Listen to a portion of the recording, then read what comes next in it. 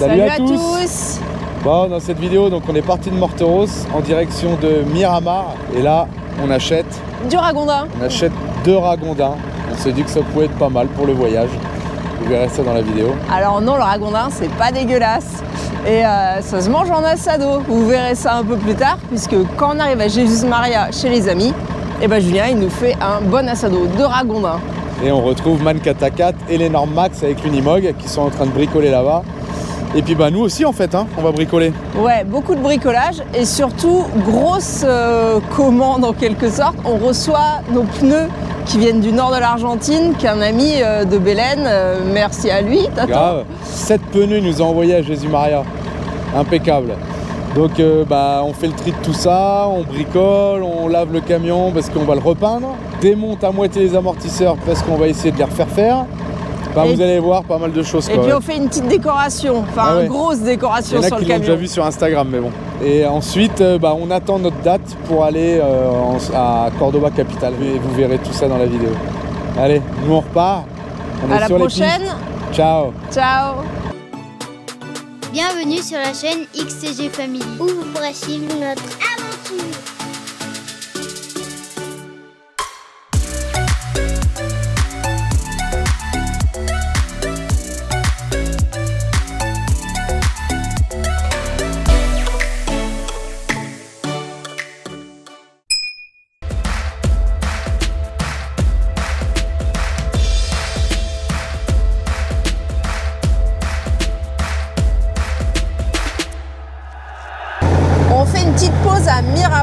parce qu'à Miramar, on peut acheter du ragondin. Et le ragondin, ici, ça se mange. À l'origine, ils élevaient les ragondins pour leur fourrure. Donc il y en a des blancs, des roux et des sombres, marron foncé.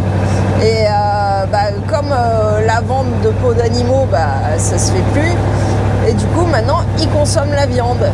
Alors, euh, c'était, on va voir le prix que c'est maintenant, c'était dans les 380 pesos par kilo il y a un an à peu près. On va voir quel prix c'est maintenant parce que on a regardé avec Julien, tout est quasiment trois fois et demi plus cher qu'il y a, allez, on va dire un an et demi. Donc on va voir. Et puis surtout, on veut faire goûter ça à Christophe qui aime bien la viande, Man Katakat. Et surtout, on veut en ramener une pour euh, le dieseliste de Diesel Rema, qui en fait est originaire d'ici. C'est lui qui nous a réglé euh, la pompe à injection. Et puis bah, je pense que ça lui fera plaisir euh, de pouvoir manger cette viande-là qu'on ne peut pas acheter partout. Alors regardez, ça c'est le coin des cochons, mais il y a les mêmes caches pour les ragondins. Ils sont euh, là-bas derrière. Regardez, ça c'est le ragondin, 3 kilos. Sont belles, hein Bon, on va voir ce qu'on achète. C'était 380 pesos il y a un an et demi le kilo. Aujourd'hui, c'est 1200 pesos le kilo. Elles sont toutes fraîches de ce matin. Il les a tuées ce matin. Et n'empêche, ouais, le double du prix, quoi. Ah non, trois fois et demi plus cher, en vrai. Alors, regardez. Ça, c'est de la loutre. Ça, c'est de la loutre. Ça aussi. Par contre, ça, c'est du lapin. Et ça, Et ça on, dirait, un petit jaguar, mais c'est à la fin, je pense. Bon, du coup, il y a pas mal de Français à Jésus-Maria, donc on en a pris deux pour nous, même si c'est cher, mais c'est quelque chose qu'ils pourront pas manger ailleurs qu'ici. Et puis une pour Eduardo, le copain. on va essayer de mettre ça dans le frigo. Bon, bah vous vous rendez compte 1200 pesos le kilo, alors que c'était 380 il y a un an et demi. Ouais, c'est un truc de malade. Mais bon, ça va faire plaisir, je pense. On va regarder, et en même temps, il nous a donné deux calabasses. Deux calabasses énormes. On va se faire ça avec la Nutria, impeccable. D'ailleurs on a une vidéo, on vous la remettra par là ou par là. Je voulais vous montrer quand même dans cette vidéo, vidéo à quoi ça ressemble, des gros rats quoi. Voilà ce qu'on va manger demain. À Jésus Maria. Là il y a les bébés.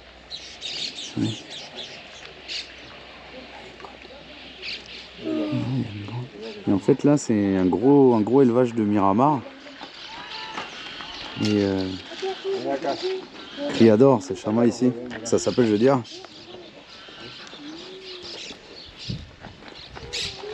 Il se lave. Il y a encore des bébés là-bas. Ah si? En plus il nous a reconnu, papy là, il est trop gentil. Et ils ont le bassin, il y a plein de poissons là-dedans. C'est le seul animal avec les tétines sur le dos. Pour que quand ils sont dans l'eau, les petits puissent téter sur le dos de la mère, puisque les tétines sinon seraient en bas dans l'eau. quoi. Donc ils ont les tétines sur le dos et à nage ensemble avec les petits accrochés dessus. Regardez tout ce qu'il y a là.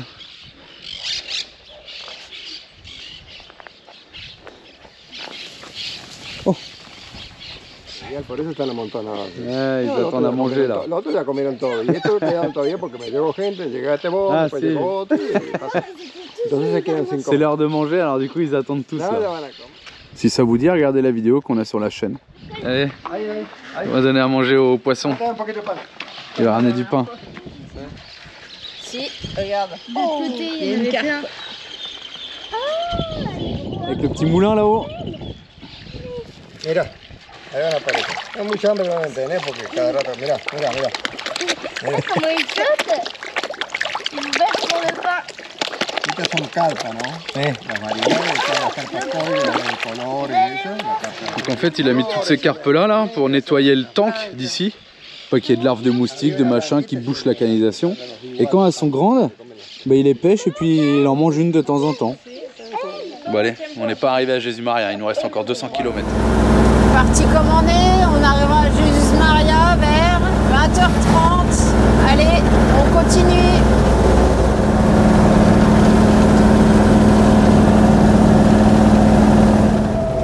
On arrive à Totoral, c'est une des premières villes où on a fait un bivouac sauvage après le Covid. C'est aussi l'endroit où on s'est arrêté la dernière fois parce qu'on s'est rendu compte qu'il y avait un problème avec le camion et c'est ce qui nous avait poussé à aller chez le dieseliste. Donc on s'est déjà arrêté deux fois à Vichat Totoral. Et ben pas cette fois. Et on avait rencontré Pedro Nous voilà à Jésus Maria. On va d'abord passer donner euh, le ragondin à Eduardo avant d'aller euh, bah, chez les amis euh, à Jésus Maria. Jésus Maria, ce soir, el mejor asado del mundo. Il est là. Bon, on s'est couché à 5h du matin. En 7h30, Roulio, il nous réveille. Et il y a le gars qui livre les pneus qui peut pas venir dans la rue apparemment. C'est Du coup, on sort avec la C15 et la remorque. Putain, le camion il est là, il peut pas venir dans la rue, il nous fait chier. Oh ouais, ça y est, on a nos pneus, ils sont arrivés, impeccable. Bon, Rolio il est parti regonfler les pneus de la remorque parce que 7 pneus ça commence à faire du poids, hein, 700 kilos. Ah, il est là.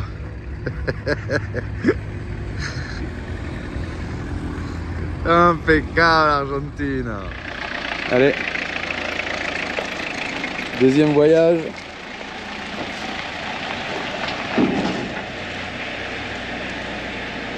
Et là, le Continental, il est tout neuf. hein. Celui-là, il est pour Mancata 4 et celui-là aussi.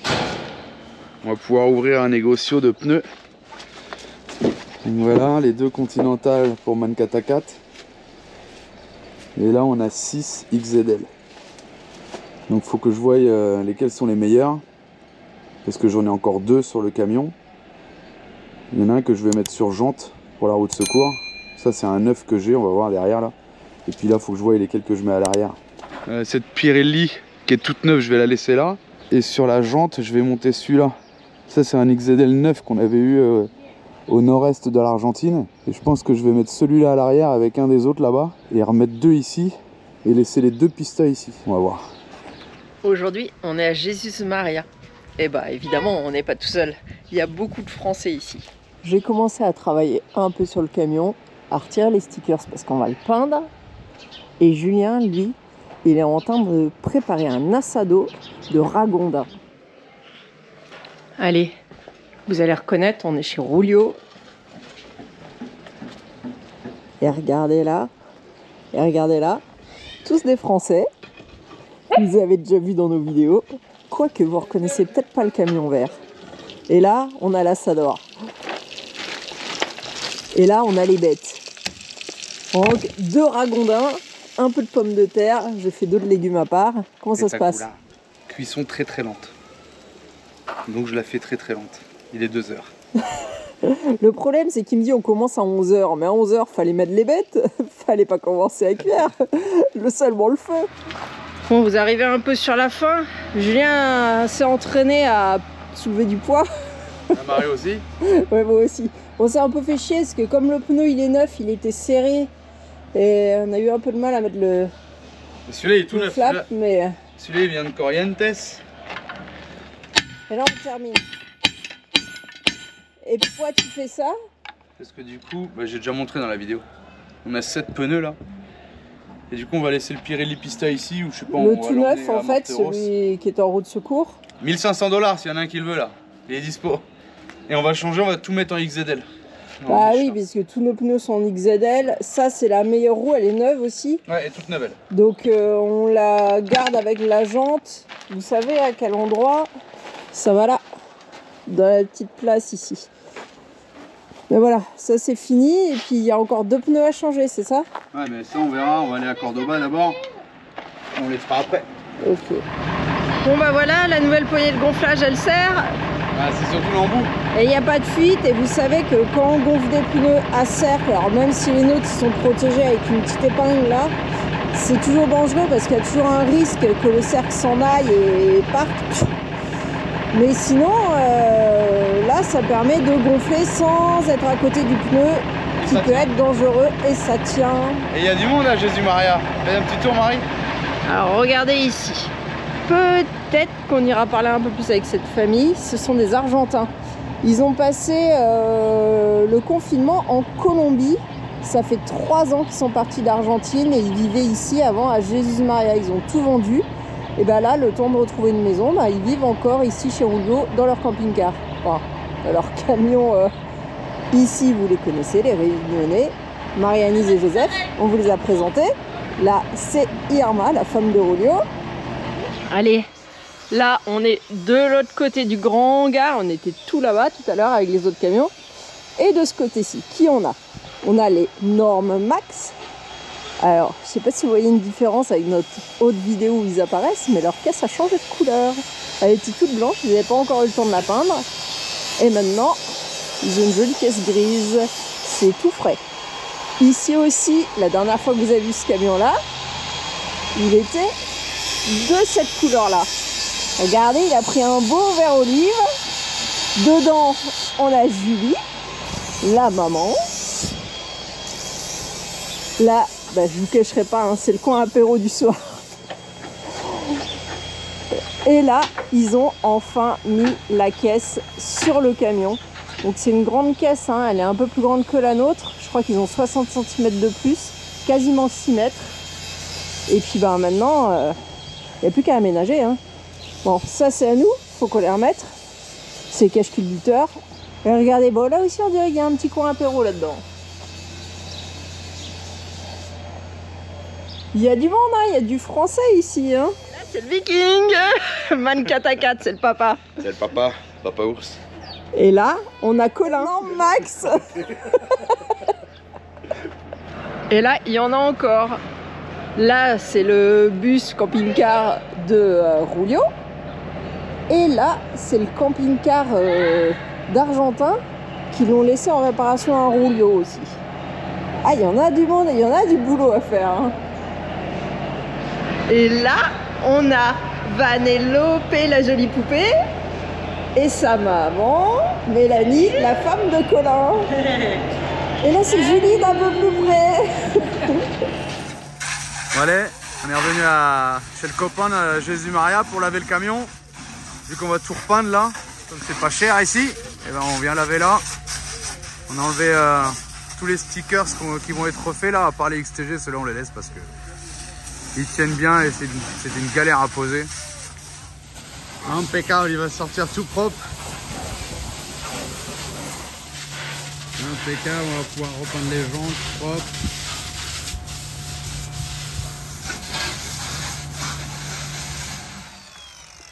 Bon, en fait, je vous ai pas montré tout à l'heure, mais à chaque fois, on réparait cet angle-là, là. Et là, j'ai dit, allez, on sort la porte de soute. Parce qu'en fait, on réparait que cette partie-là qui pétait. Mais en fait, quand j'ai enlevé la porte de soute, c'était pété jusqu'au bout. Donc, bah, à force, on réparait là, mais ici, c'était toujours ouvert, donc ça venait se rouvrir. Et euh, il y avait un angle vraiment très droit. Donc là, j'ai remis un coup de disqueuse, là, pour faire un arrondi. Et, euh, du coup, là, il m'a fait la fibre de là jusqu'à l'intérieur. Donc, on espère que maintenant, ça pètera plus, la fibre. Et là, du coup, il m'a dit, bah vas-y, je te fais l'autre angle. Au moins, ça sera fait, il lui reste de la fibre. Aujourd'hui, ça continue de peindre. Ça là, elle est finie avec le rénovateur de caoutchouc. La face avant c'est quasi quasi fini euh, toutes les parties noires. Il nous restera le gris à faire. Mais d'abord on va aller à Cordoba parce que comme on flingue tout à Cordoba, là il nous reste euh, tous les trucs noirs aussi à faire. Les plaques de ensablage, je pense que je vais les enlever. Et je vais voir si je peux pas les mettre debout ici en fait. Ça nous protégera en plus la cellule. Ça ramènerait du poids vers l'avant. Et là, je le trouve plus, euh, plus camion sans les plaques. Dites-nous en commentaire. C'est pareil, j'ai viré les garde-boue. Là, il y avait un garde-boue qui faisait ça, ça. Je l'ai viré. Et je trouve que ça fait plus camion. Hein, Marie La marée nous fait l'antirouille sur les portes arrière. Du coup, euh, les barres, je pense qu'on va les faire noires là. On va voir. Et euh, voilà les garde-boue. Il y en a un que j'avais plié au SVA à Nantes. Donc bon, j'ai dit, vas-y, on dégage. Et là, ça fait plus, plus d'espace. Déjà, sans les plaques, ça fait mieux, je trouve. Et là, ça fait plus d'espace. Quand on va mettre un XZL comme à l'avant, un peu plus gros, je pense que ça va faire sympa, on va voir. Allez, on a fait un peu d'antirouille sur les barres. Maintenant, peinture noire pour finir. Bon, en espérant que ça dure un peu plus longtemps. En réalité, la rouille, elle se met euh, là où il y a la saleté qui s'accumule sur le dessus des barres et à l'endroit où les pneus frottent. Parce que sur le dessus des barres, il y a euh, bah, plein d'herbes, euh, tout ça qui s'accumule et l'humidité, elle reste. C'est pour ça que ça rouille. Puis comme les pneus, ils frottent à certains endroits, ben, ça arrache la peinture et du coup, on se retrouve avec des zones un peu plus rouillées que les autres. Je pense qu'en le faisant au pinceau, ça aurait été plus rapide. hein. Parce que à la bombe, c'est le masquage qui est vraiment long. quoi. J'ai même pas assez pour, euh, pour cacher tout l'arrière. Il va falloir continuer demain. Allez, regardez. Ils ont bien avancé. Hein. La cellule rehaussée. Peinture cellule. Bon, les stickers, c'est à revoir. hein. Euh, L'arceau, comme je vous avais dit là, pour les, les, les câbles, il a viré son réservoir. Et il est en train de faire un coffre, un gros coffre d'ailleurs. Il a fait sa nouvelle échelle. Là, ils ont bien, bien, bien avancé. Et là, 24 à 4. De ce côté-là, échappement cheminée aussi. Bon, il reste un petit truc à modifier là. hein. Là, il va faire un petit support pour mettre sa table. Pour que ça soit super pratique. Et puis bah là, euh, bah là ils sont partis à Cordoba, Christophe et Julie là. Voir un peu euh, pour les fenêtres, tout ça. Mais euh, pareil, ça avance tranquillement aussi. Ils sont là un peu plus longtemps, ils ont beaucoup plus de travail déjà à faire. Mais euh, non, non, ça bouge bien là, ça bouge bien. Allez, nous on part. Je suis en train de démonter les amortisseurs, je vous expliquerai pourquoi après.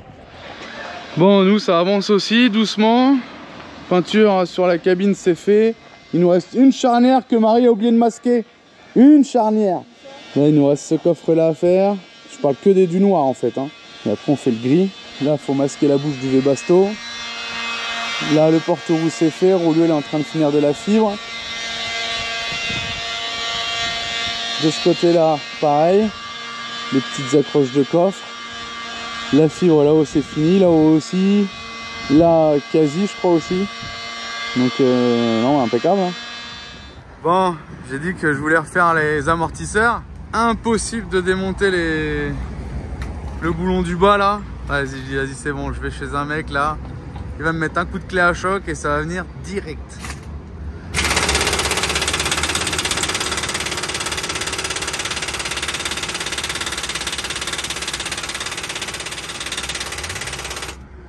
Et ben non, ça vient pas direct. Putain. Putain, bah j'aurais jamais réussi. hein. J'avais essayé avec le cric et tout. Impossible. Déjà avec la clé à choc, il a du mal. Ils sont soudés les boulons. Bon, ici, c'est le coin où tout le monde coupe tout, là. Regardez-moi ça.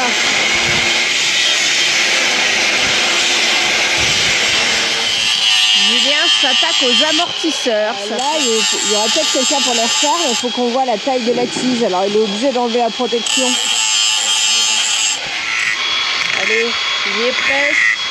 Ça va sortir. À côté de ça, on a Mélanie qui travaille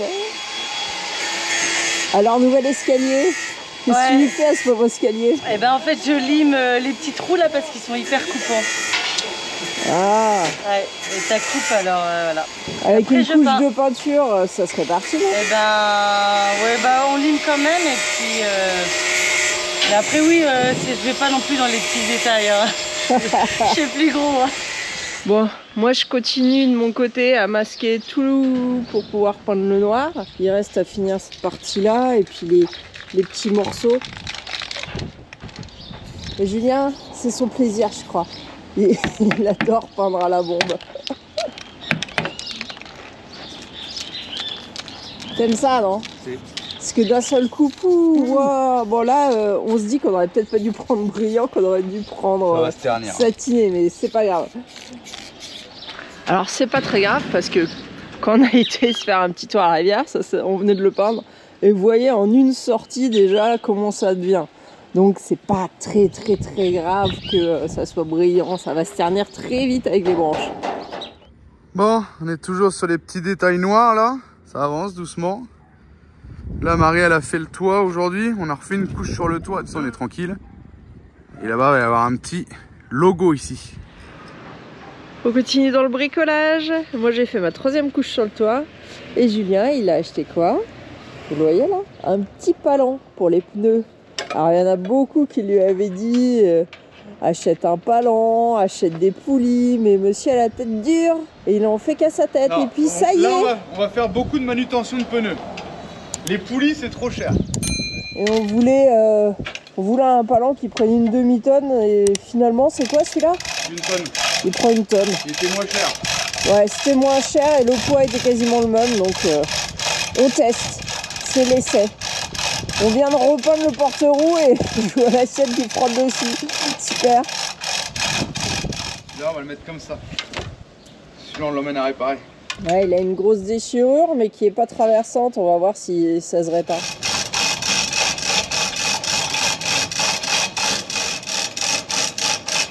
C'est long aussi, hein. C'était plus rapide à la main. C'est moins fatigant, mais c'est une expédition en fait.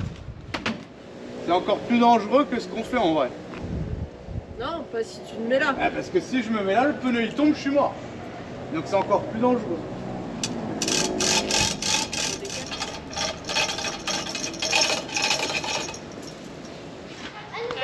Organisation. Allez, je vais les emmener à la, feria, ils vont vendre tout leur bazar là. Et Marie, elle est en train de nous faire le pouce Facebook qu'on va peindre sur le toit. Bon, bah, on continue notre peinture. hein. Là, c'était les derniers éléments en noir là qui n'étaient pas encore peints. Je crois qu'il manque une dernière couche et ça sera fini. Et puis là, on va aller voir sur le toit. Allez, je sais pas si vous voyez ce que c'est. Je vous le trace un peu. à la fin. Hop On vous le remonte quand c'est fini. Allez, on fait une petite pause. On a une première affaire avec vous et on se remet à la peinture. Allez, fallait que je vous le filme fini. Qu'est-ce que vous en pensez? On a un gros pouce sur le toit du camion. Pas mal On a les Normax qui partent demain. Donc on s'est fait un petit repas tous ensemble ce midi. On a droit à une petite fin de repas en chanson. Et, regardez bien, on a Mario qui revenait de vacances, qui s'est arrêté pour nous faire un petit coucou au passage avec sa famille.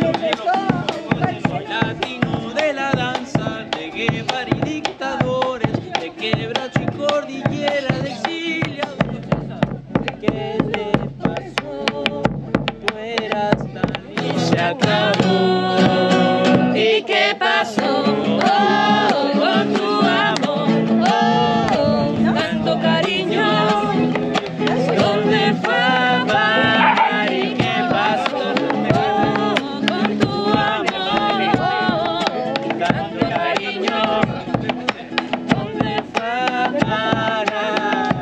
Allez, après ce dernier repas, et ben retour au boulot. Hein. Enfin, nous, euh, on fait pas trop boulot aujourd'hui. Regardez là-haut, la Julie qui est en train de peindre le toit. Allez, les travailleurs, regardez-la bien concentrée à faire son stickers. Alors, au lieu de faire un sticker se coller puisqu'ils se sont envolés au bout d'une journée, c'était une catastrophe. Et bah du coup elle les peint les stickers. C'est c'est plus des stickers quoi. Donc on a essayé de réutiliser ce qui était encore collé pour tracer et puis je lui ai complété euh, le logo pour qu'elle puisse euh, le, le peindre. Merci à toi, Marie. hein. Ah, de rien Là ça se passe bien? Ça va, on charge. Je sais pas si ça se passe bien, je crois qu'il y a beaucoup de choses à replacer parce que je sais pas si vous vous rappelez, la dernière fois qu'on a filmé déjà le camion, il était blanc et surtout ici il y avait un réservoir et maintenant c'est devenu un coffre, un grand grand coffre euh, qu'il a soudé et euh, bah, c'est mieux parce que il avait des mâles là-haut, des mâles derrière et au final bah, c'était un peu galère parce que quand il fallait aller chercher quelque chose là-haut c'était pas hyper pratique que là, ils peuvent mettre les choses qu'ils utilisent le plus souvent. C'est plus accessible, c'est mieux. Donc euh, il y, a eu- il y a eu du boulot de fait. Hein. Et puis c'est pareil, il a rehaussé le, bah, le camion parce que sinon, regardez, les roues, elles avaient frotté, elles avaient commencé à manger ici l'isolant. Donc il a mis des bouts de ferraille, il a tout rehaussé. Enfin, ils ont fait pas mal de trucs ici. Il a modifié l'arceau aussi pour les, les câbles électriques et l'escalier. On vous avait parlé qu'il y avait une petite plateforme là, il l'avait déjà. Mais il y avait un escalier qui se plie en trois et qui est là et qui était un peu lourd. Et il a fait un escalier un peu comme euh, celui qu'on a, mais beaucoup plus léger avec des montants plus fins. Ça se passe bien, Julie Allez, elle choisit le jour où il y a le plus de vent pour peindre son toit. On va aller voir. Tu viens de me traiter de morue là C'est gentil. Hein. Et en fait, il a euh, plein de jonctions sur euh, la fibre. C'est en plusieurs morceaux. Du coup, euh, il a utilisé la même chose que nous, on avait pris. C'est un espèce de tissu qui vient se coller dans la peinture, un petit peu comme euh, quand on fait du plaque au plâtre, pour éviter qu'il y ait des fissures qui se créent aux jonctions. Donc il en a mis un peu partout, quoi. Partout, les matériaux n'étaient pas d'une pièce. Et après, la peinture, elle devient dure. C'est de la peinture qu'on peut utiliser pour les châssis de voiture. Comme ça, ça protège un peu quand il y a des cailloux et tout. Bah là, du coup, nous, ça protège le toit euh, des branches. En tout cas, sur notre camion, ça a bien marché. Merci Allez. Marie pour ces explications. Boss Qu'est-ce que tu fais? Je crois que c'est les amortisseurs.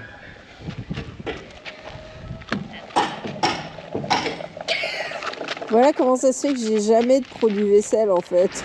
C'est le départ des normes max. Ils partent euh, vers le nord, vers Cafayate, pour retrouver euh, de la famille. Et puis qui sait, on les reverra peut-être plus tard.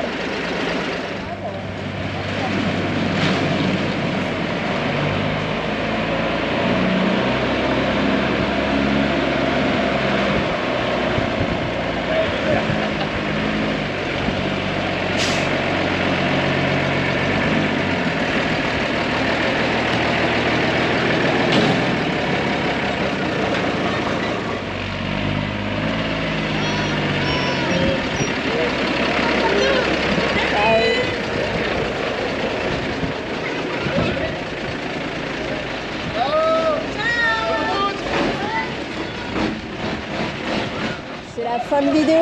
On se retrouve dans une prochaine vidéo. Ah non En attendant la prochaine vidéo, vous pouvez aussi nous suivre sur Instagram et Facebook.